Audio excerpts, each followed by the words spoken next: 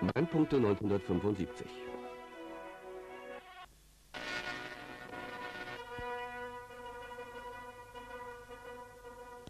Ein gewaltiger Wolkenbruch ergoss sich am 23. Juni auf unsere Stadt. Ein Unwetter, wie es sich seit 1933 nicht wiederholte. Schon nach kürzester Zeit konnten die Kanäle die Unmassen von Wasser nicht mehr fassen. Wilde, reißende Fluten überschwemmten die Straßen. Der gesamte Verkehr kam zum Erliegen.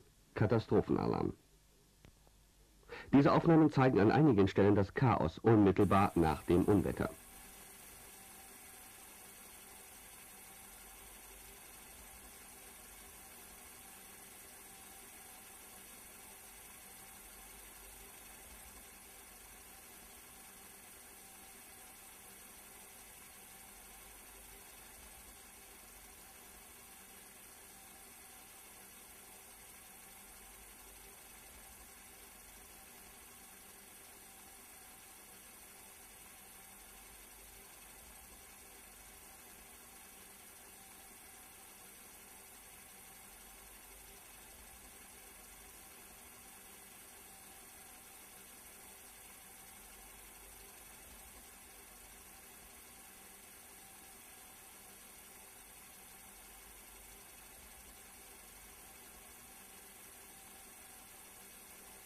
Bilder des Schreckens und des Grauens, wie hier am Friedhof und der Saresdorfer Straße, bezeugen das Ausmaß der Katastrophe.